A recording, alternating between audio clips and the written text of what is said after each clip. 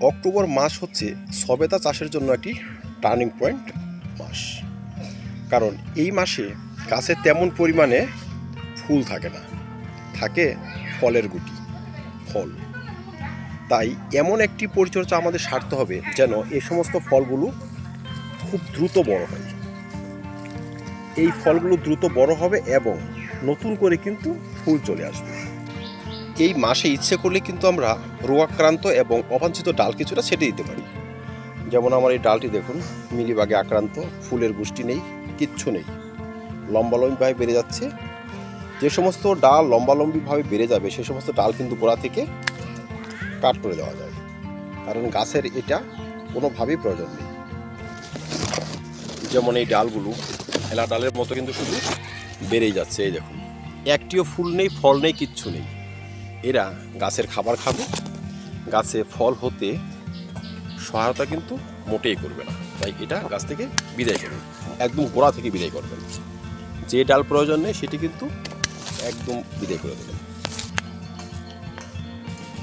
দ্বিতীয়ত, গাছে এখন ইনসেকটিসাইড এবং ছত্রাকনাশক ব্যবহার করতে হবে। কারণ ভোরের কুয়াশা, কিছুদিন আগে বৃষ্টি হয়ে গিয়েছে। তো কুয়াশা এবং এই বৃষ্টির এই সন্ধিক্ষণে কিন্তু ছত্রাকের আক্রমণ হয় সব থেকে বেশি। আর মিলিবাগ জাত পোকা মাকড়সা নানাবিধ পোকার আক্রমণ তো থেকেই যায়। সেক্ষেত্রে কিন্তু আমরা প্রফেক্ট সুপার এবং ভালো মানের ছত্রাকনাশক যেমন সাপ, অ্যান্ট্রাকোল, এই সমস্ত গুলে দশ দিনের ব্যবধানে দু থেকে তিনবার ব্যবহার করে দিলে সেসব সমস্যা হবে না। গাছ সুস্থ এবং সতেজ থাকবে। আর যখনই গাছ সুস্থ এবং সতেজ থাকবে, তখনই কিন্তু এই সমস্ত ছোট ছোট ফলগুলো কিন্তু দ্রুত বড় হবে। যারা বলেন যে সবেদার সাইজ ভালো হয় না, তাদের কিন্তু ছোটোখাটো ডাল কাটা, ছোটোখাটো রোগগুলো দেখে তার চিকিৎসা কিন্তু সেরে ফেলতে হবে। নয়তো সবেদার সাইজ আদৌ ভালো হয় না। আর যারা ঘরোয়া পদ্ধতিতে মিলিবাগ এবং ছত্রাক গাছ থেকে বিদায় করতে চান তারা সার্ফ এবং হলুদ একত্রে গুলে সাত দিনের ব্যবধানে তিন থেকে চারবার ব্যবহার করতে পারেন। এক্ষেত্রে এক লিটার জলে পাঁচ গ্রাম সার্ফ এবং পাঁচ গ্রাম হলুদ ভালো কাজ করে। দর্শক, এবার আসব খাদ্য নিয়ে।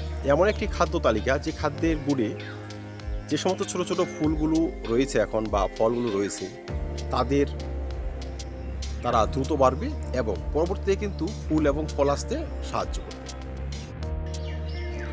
দর্শক, এখন কিন্তু আমরা মিশ্র খাবার ব্যবহার করতে পারি। কারণ, সবসময় শুধু পটাশিয়াম এবং ফসফরাসযুক্ত খাবার দিয়ে কিন্তু আমরা চাষবাস করতে পারি না। কারণ, গাছের কিন্তু নাইট্রোজেনের প্রয়োজনও রয়েছে। কিন্তু দর্শক, তাই বলে কিন্তু বেশি বেশি নাইট্রোজেনের ব্যবহারও কিন্তু চলবে না। তবে এই সমস্ত ছোটো ছোটো গুটিগুলো কিন্তু ঝরে যাবে। সেই মিশ্র খাবারে থাকবে সামান্য পরিমাণ নাইট্রোজেন, পটাশিয়াম, ফসফরাস এবং ষোলো থেকে সতেরো রকম মাইক্রো ও ম্যাক্রো নিউট্রিয়েন্ট মিশ্র খাবারের ভিডিও চ্যানেলে রয়েছে, ইচ্ছে করলে সেটি দেখে নিতে পারেন। বা বা সিক্সটি পারসেন্ট গোবর সার টোয়েন্টি পারসেন্ট পাতা পচা সার টেন পার্সেন্ট পুরনো কাঠকয়লা, পুরনো ছাই এবং সামান্য পরিমাণে জিঙ্ক সামান্য পরিমাণে শিং চাচা হাড়গরু এবং জৈব দানা অনুখাদ্য একত্রে মিশিয়ে কিন্তু আমরা গাছে এখন ব্যবহার করতে পারি। যারা রাসায়নিক পদ্ধতিতে মিশ্র খাবার ব্যবহার করবেন, তারা কিন্তু দশ ছাব্বিশ ব্যবহার করতে পারেন একটি বড় টবের জন্য মাত্র পাঁচ থেকে সাত গ্রাম। সেই সঙ্গে ব্যবহার করবেন জিঙ্ক সালফেট, জৈব অনুখাদ্য এবং সামান্য পরিমাণে শিং চাচা হাড়গুরু এবং ক্যালসিয়াম নাইট্রেট। আমরা রাসায়নিক পদ্ধতি ব্যবহার করি, চাই অর্গানিক পদ্ধতি ব্যবহার করি। যেটি ব্যবহার করি না কেন, এই সময় কিন্তু ব্যবহার করতে হবে।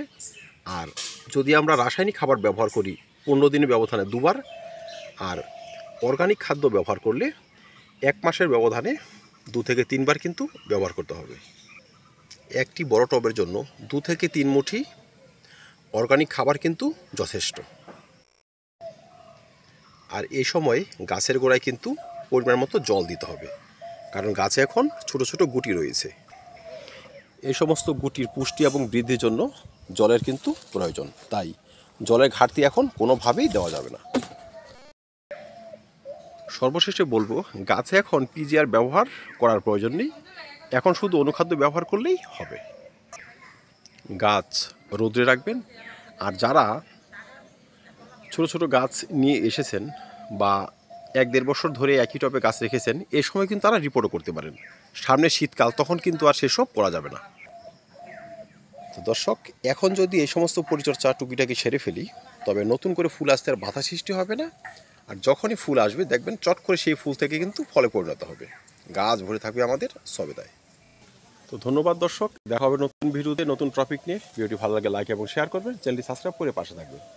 ভিডিওটি দেখার জন্য ধন্যবাদ।